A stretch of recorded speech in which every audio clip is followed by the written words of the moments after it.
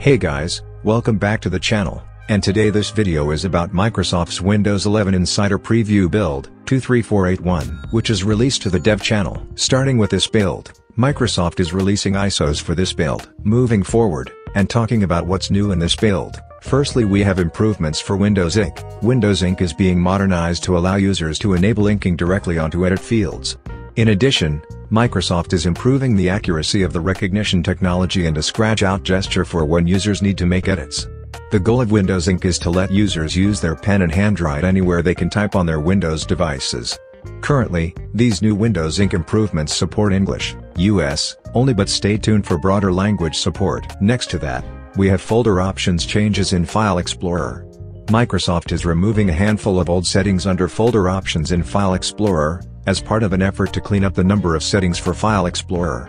Many of these are legacy settings that have been around for ages and are not being regularly used by people on Windows 11.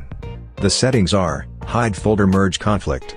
Always show icons, never thumbnails. Display file icon on thumbnails. Display file type information on folder tips. Hide protected OS files. Show drive letters. Show pop-up description for folder and desktop items. Show encrypted or compressed NTFS files in color. Use Sharing Wizard. Next to that, we have new Focus Session widget. Microsoft is beginning to roll out a new Focus Session widget as part of a Clock app update, version 11.2305.6.0 and higher, via the Microsoft Store to Windows Insiders in the Canary and Dev channels.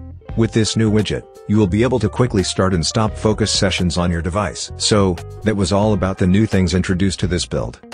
Moving forward and talking about the changes and improvements made in this build, for taskbar and system tray, never combine mode, which enables you to see each window of your applications on the taskbar individually, and which began rolling out with build 23466, is now available to all Windows Insiders in the dev channel. Also, starting with his build, chat is now pinned by default to the taskbar and can be unpinned like other apps on the taskbar. For File Explorer, the ability to tear out and merge tabs in File Explorer, which began rolling out with build 23471, is now available to all Windows Insiders in the dev channel. For voice access, the new text authoring experiences in voice access that began rolling out with build 23466 are now available to all Windows Insiders in the dev channel. So, these were the changes and improvements made in this build. Moving forward, and talking about the fixes for this build, for dev drive, fixed an issue where filters beyond AV might be attached to your dev drive on reboot. Also, fixed an issue which could cause a bug check when using Dev Drive. For File Explorer, fixed an issue where the icons in the File Explorer context menu could be blurry. Fixed an issue where sync status icons for files backing up to a storage provider were not reliably displayed. Fixed an issue for authentication errors on File Explorer Home where the Please Sign In button appeared but clicking on it did not pop up the authentication dialog. Updated show files from Office.com text and folder options to include account-based insights, recent, favorite, and recommended files. Using Ctrl plus V to paste an image in Gallery will now paste the image into your default Pictures folder. The default folder can be configured under Collection, Manage Collection in Gallery. If you hover your mouse over the Details button in File Explorer, the tooltip should no longer block the Close button for the window. Also, Fix the following issues for insiders with the modernized address bar in File Explorer. Fix the direction of the search icon within the tab when doing a search in File Explorer. Fixed an issue where tabbing or Shift plus tabbing from the command bar wouldn't land focus inside the current folder. Fixed an issue where if you set focus into the address bar, to edit the path, you wouldn't be able to use the tab to move focus out of it.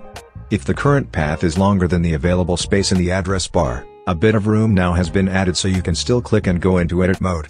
Lastly, fix the following issues for insiders who have the modernized File Explorer Home. Fixed an issue where hovering over folders in the Quick Access section of Home was causing the name to disappear and the icon to slide to the side if you had checkboxes enabled. Dragging and dropping into the Favorites or Quick Access section should work again now. Lastly, for the search on the taskbar, fixed an issue where navigating the search flyout on the taskbar with the keyboard arrow keys did not work as expected. So that was all from Microsoft for this build. If you want to know more, follow the link to the official Microsoft blog from the description. Hope it was useful consider like for the video, subscribe to the channel and if you have any questions, just comment down below. Thanks for watching and have a great day ahead.